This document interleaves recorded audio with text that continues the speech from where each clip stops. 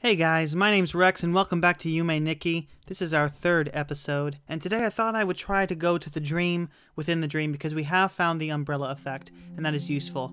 Now I figured out, I think I figured out what was causing some of that lag last episode, and I believe that I've remedied that. Nope, that's not gonna work. I wonder if I can just keep going in and out, if it'll work, or if I have to pinch myself and try over and over and over again. But, uh, Point being, I changed it from full screen mode to a windowed mode, which is much better, in my opinion. So now I'll be able to, hopefully, not encounter that weird lag. I don't know what it is. I mean, it's pretty sad if my computer can't play an RPG Maker game. But anyway, I'll jump back to you whenever we figure out this little thing here. There we go. We got it. Now, if you go back up, you'll just wake up and ruin it. Now, this is, again, a little more disturbing in imagery here. And these hands are reaching up, indicating probably unwanted physical touching. Now, over here, there should be a fire that is blazing. And we can put it out with one of our effects, our umbrella effect. So we're able to put it out which will allow us to explore in here. And again, let's get our let's get our bicycle out. There we go. And there is that thing. What is this? How, do I get back there? I, oh, there we go. I was like, I know I can get back there. And let's get this guy. He's in effect. What it? Come on. There we go. Poop hair. Yes, that's correct. Poop hair. Now, you may be thinking to yourself, what on earth could there be a use for poop hair? What, why, what, what? And that is, that is a good reaction. Why would there be poop hair in this, uh, in this game? And I'll show you here. When we put that down, look, look, a little, a little fly comes out. And you may again be asking yourself, why is that useful? Well, this game is easy to get lost in. So while you are exploring, you lay down one of these flies and you, lo you know, oh, I've been to that spot before. There's flies here. There's a whole slew of them. So that's what that's for. I recommend getting that as soon as you can because it is useful and we probably will be using it sometime in the future here. So let's go down this elevator and see what else we can find. Now, is there... Oh, I went to the wrong one. Yep, see, now it's blocked off. So now I'm no longer in the dream within the dream. There is something up there that you can go to, but unfortunately, I went to the wrong one. Now, it's really not that big of a deal simply because... These guys seem sad. It's not that big of a deal because there's a different effect you need to have to trigger that sequence, and we don't have that yet, and that is the witch effect. Otherwise, she will just fall down off of the building, because you go to the top of the building here. She will fall down off the top of the building and then wake up. It's one of two things that will actually wake up Madotsuki. So here you can change your color scheme. I don't know why that's really in, in the game at all. But that's, I don't like the red. That scares me. Let's go back to the, I don't know if that's the original, but we'll go with that for now. Does he do anything? No.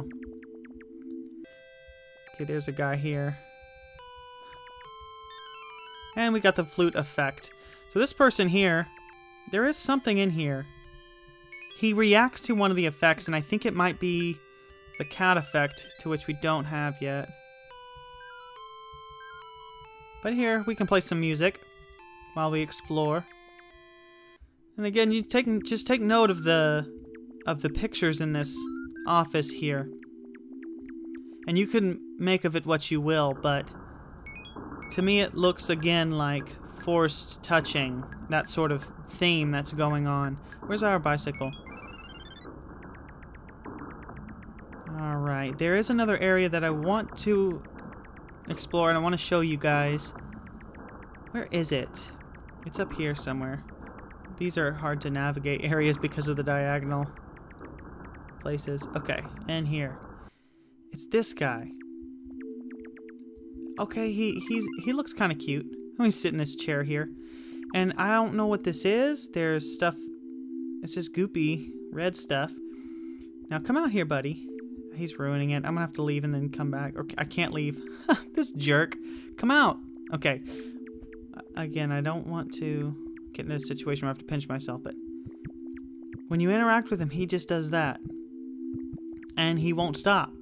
He'll just do that forever. And when you leave the room and come back, he'll be normal again, I believe. But he just sits there oozing that goop. And is that his goop there? Is that blood? What does it mean? Make of it what you will. I'd be curious to see what your thoughts are on it, so leave a comment down below telling me what you what you think this stuff could mean.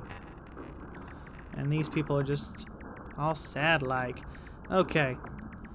Now the exit to this place is the same place that we entered it in, I believe.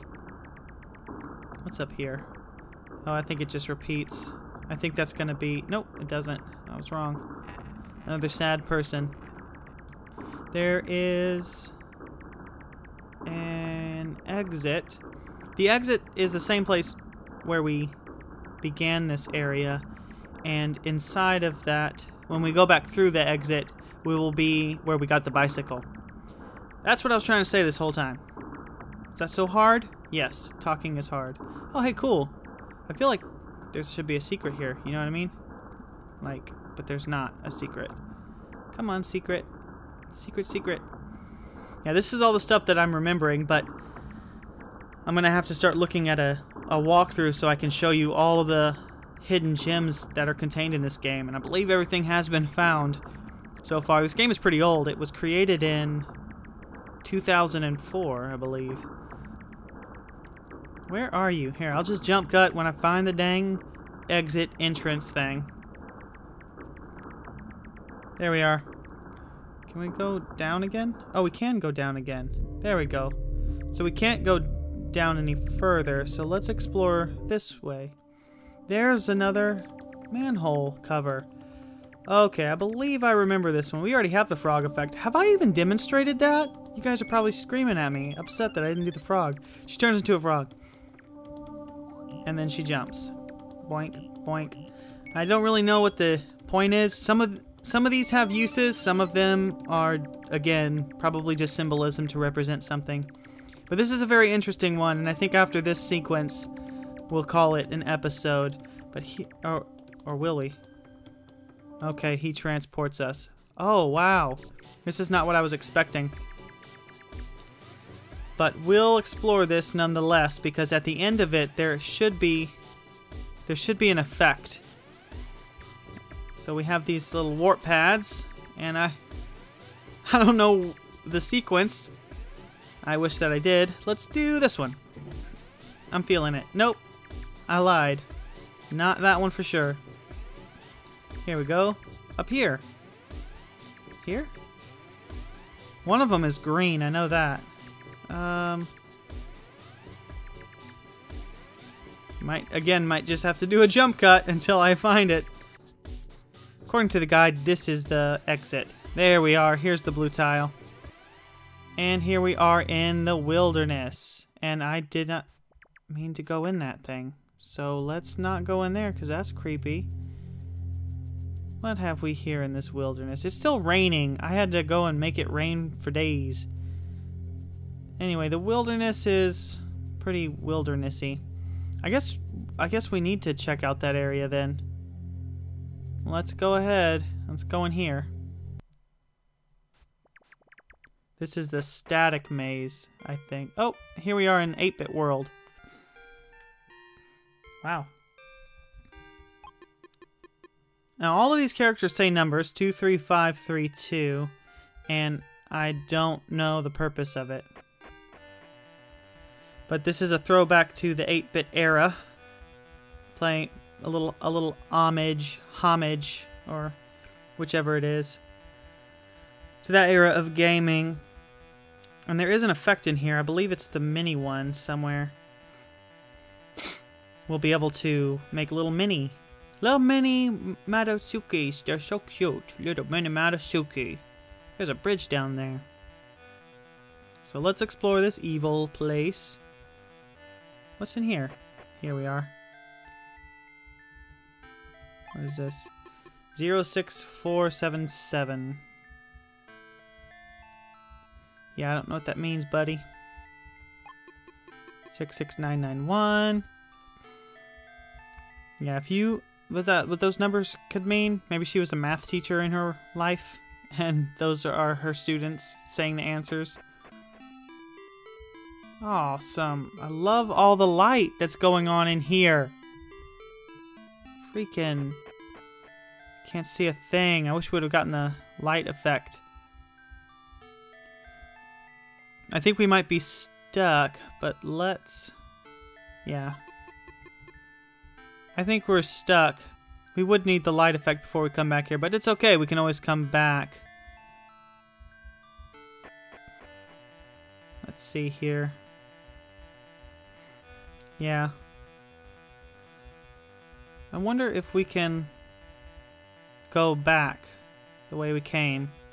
A lot of these places are one-time exits, or one-way exits rather. One-time exits. They're one-way exits, so you can't just go back the way you came.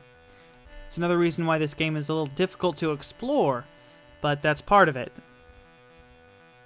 Okay, yeah, just wanted to double check to see if we missed anything, and I don't think there's anywhere else to go.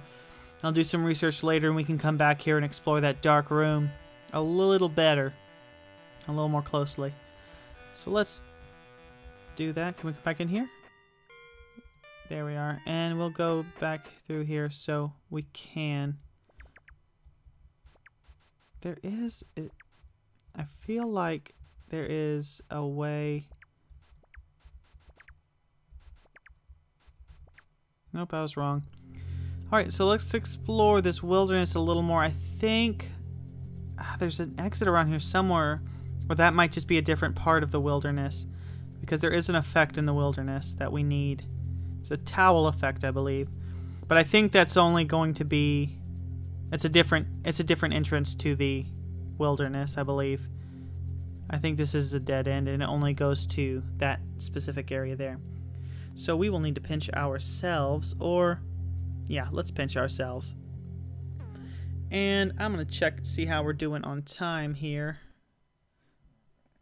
Yeah, we might need to call it an episode, unfortunately. Why don't you go ahead and save?